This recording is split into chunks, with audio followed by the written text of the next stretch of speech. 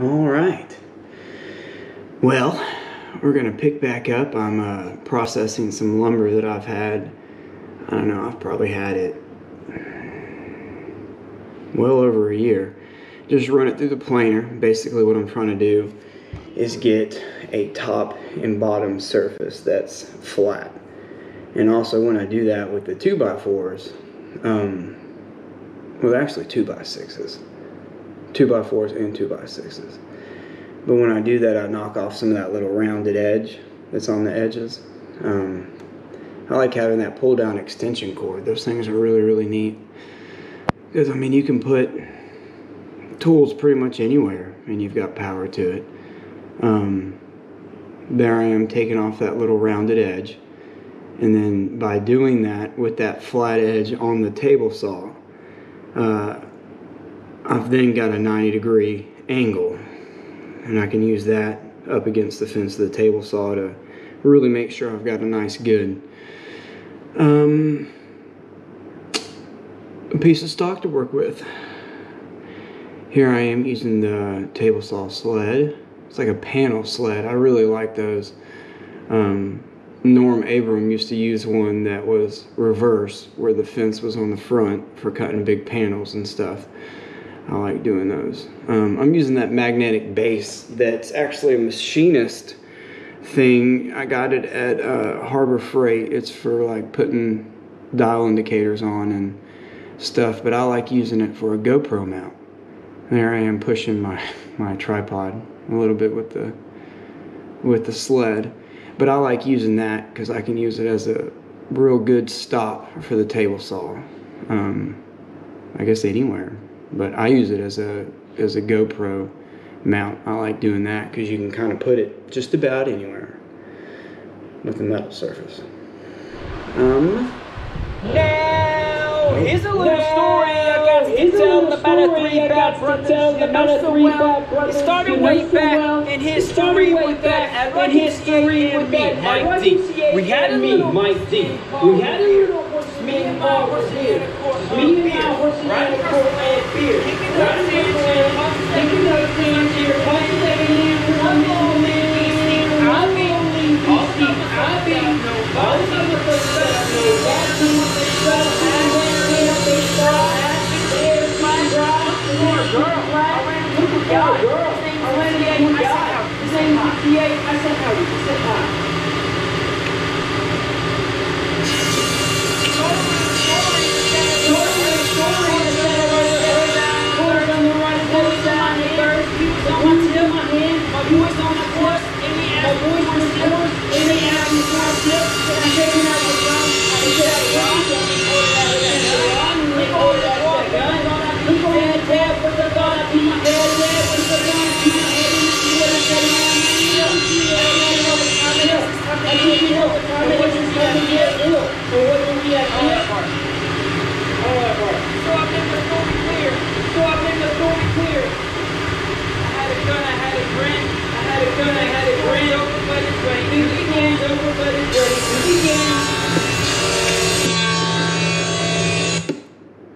All right, so anyway, after I had a little fun with that, we're back out here and um, what are these called? Lap joints, half flap joints, um, where you take the exact half of your thickness and you cut little places to kind of gives you a really good joint because you're already lined up. It's it, it forces a 90 degree angle as long as your table saw and your sled and all of your previous cuts are good. Um, but uh, I use two of those just to kind of hold two little brad nails, uh, just to hold those in, in, in place um, to let them dry long enough, uh, and you'll see I go through and put some dowels. Here I am on the corners, um, just showing. I mean, I've already marked it, but I forgot to film it. And that's a little little piece of wood that I set up real quick. It gives me my two angles to match up with the outside face. And then I'm using a brad point bit, lining that up with my line that I have in there, and just kind of giving myself a place to drill even that way when you look at it you know they all are kind of in the same spot. Um, unfortunately, I did hit like one of those brads here in a second. You'll see. Oh, I don't know if uh, I obviously didn't show it, but you put some uh, put a little bit of wood in there, and then that's a dowel that I had, and I kind of made it purposefully smaller, and you'll see up there. Um, that way, when you put your glue in there, you can kind of spin it, and it spreads the glue all the way down the hole.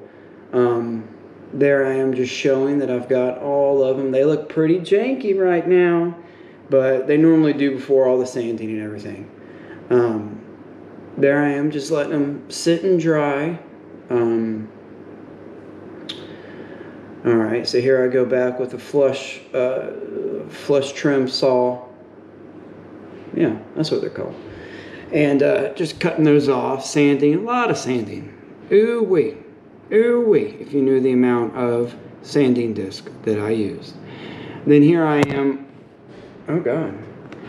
Here I am using a, uh, a piece of wood that I can clamp onto it that sits in between where those lap joints are. That way I've got a nice, good, straight edge to run across the saw. I use that, flip it over, that way I can trim the lap joints really, really good.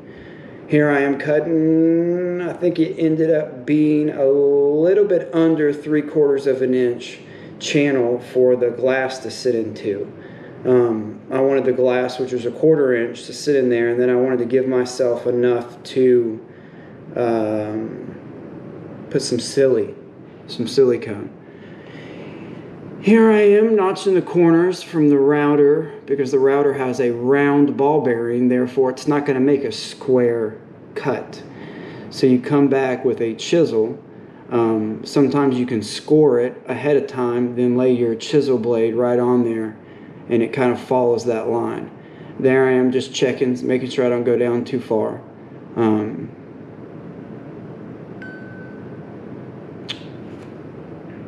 We'll see what else we got going on here. Uh, see all my cobwebs? I need to clean up a little bit. Ah, that means produ- productivity, doesn't it? You got a nice messy shop. Messy, messy shop. Um, there I am just showing, getting the corners cleaned up. I go back with this block. Oh gosh, I gotta fix this better.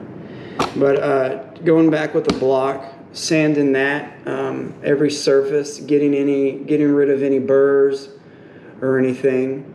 Um, here I am coming outside. Nice, nice view. Look at that. Goodness at all that green. Um, gonna set that right there. Oopsie. Like that. That way we won't fall again. Um, I try to work outside as much as I can.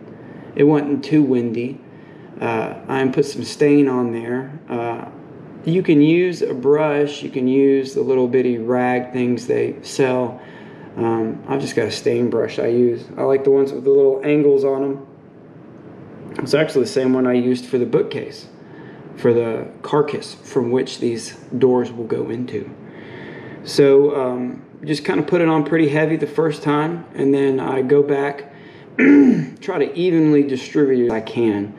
Um, I went ahead and stained and finished the doors off camera. Everybody's seen what that does. Measuring out on a piece of tape, make sure that I get um, where I can mark. I don't want to mark on the bookcase. And then I go back. I don't use one of those self-centering hole drill bits. I just take a little um, ice pick all there and uh, mark it. Go back with a really small drill bit I think that's like a 16th, um, just to give myself a little bit of pilot.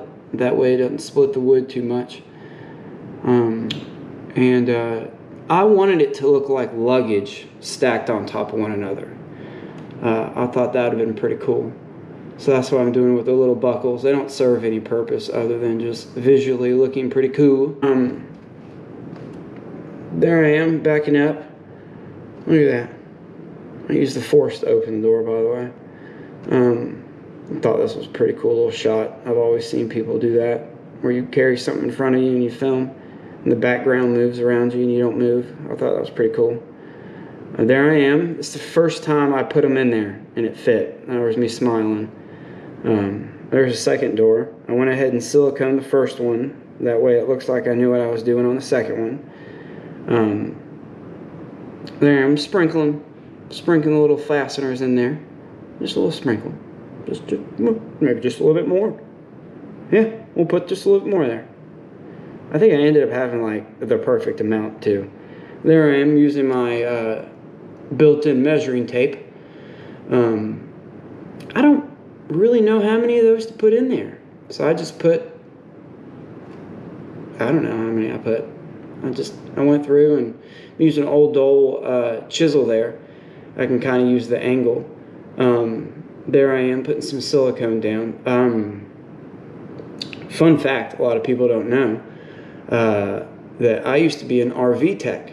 I worked on RVs for a living, and I've put down my fair bead of uh, my fair many beads of silicone.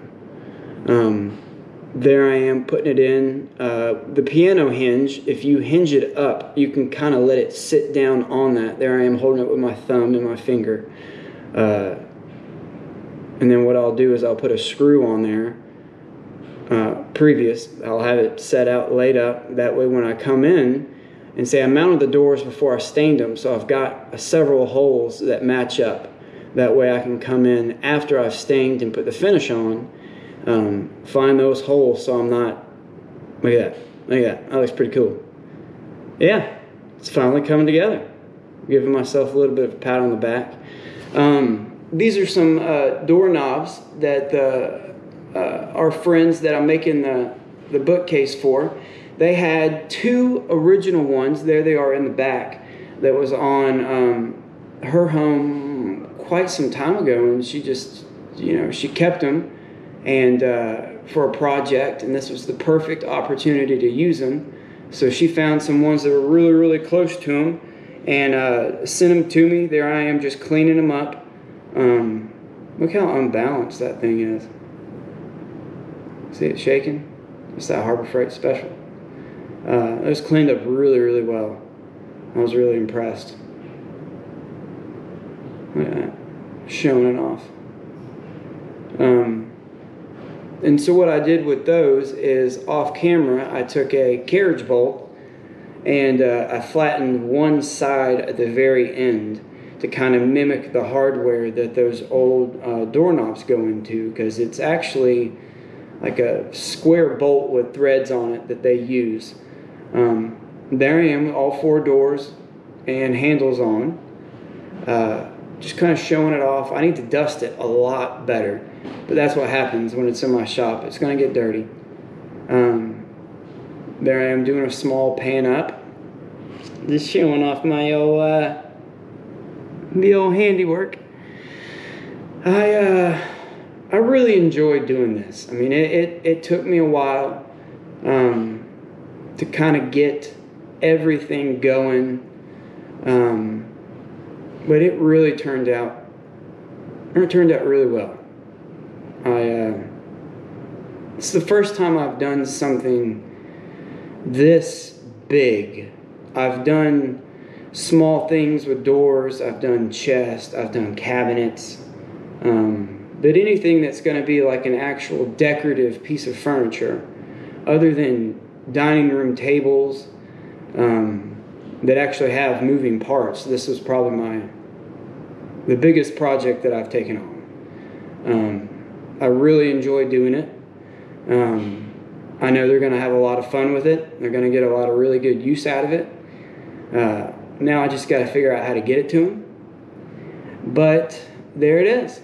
I'm showing it off. I wanted it to look like finger joints, like it was all individual little pieces that all had to come together to make this